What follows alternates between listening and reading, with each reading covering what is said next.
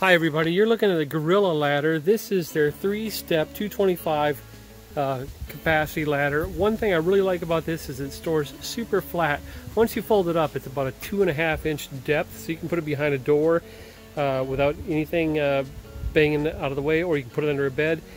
Three steps gives you enough reach.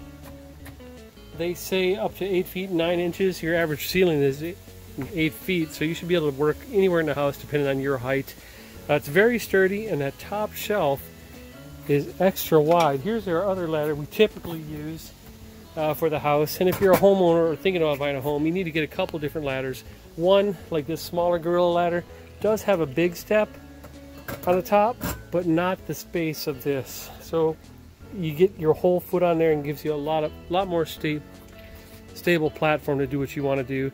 Uh, one thing you'll notice about all the Gorilla ladders is their steps are supported not just left and right, but they have an intermediate folding pin that keeps them sturdy.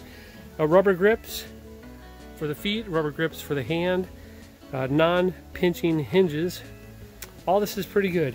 I don't remember what this cost us, but uh, I'll put a link down in the bottom uh, of the description to show you where you can get one, or I'll put one at the bottom of the uh, the video here to show you. But uh, this is really good. We, are outside right now doing windows, and this will probably take us up eight feet without any issue. Very comfortable, even if you're not, uh, or if you're vertically challenged, as they say.